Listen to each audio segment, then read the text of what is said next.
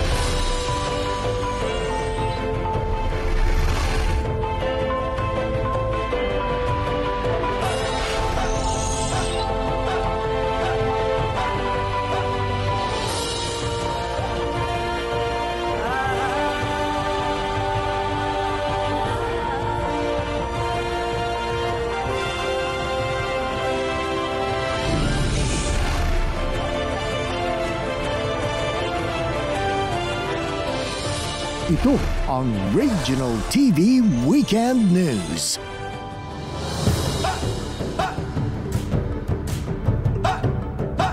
Magandang gabi. Ito ang GMA Regional TV Weekend News. Hatid namin ang mga pinakamalaki at pinakahuling balita mula Luzon, Visayas at Mindanao.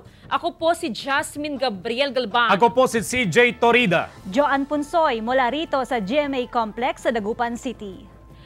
Ngayong gabi, makakasama natin ang buong puwersa ng GMA Regional TV sa iba't ibang panig ng bansa. Clear Lacanila mula sa GMA Regional TV Dagupan. Charm Rahiles ng GMA Regional TV Bicol. Luan May Rondina ng GMA Regional TV Cebu. Nariyan din si Zen Kilantang mula sa GMA Regional TV Iloilo at John Esteban ng GMA Regional TV Davao.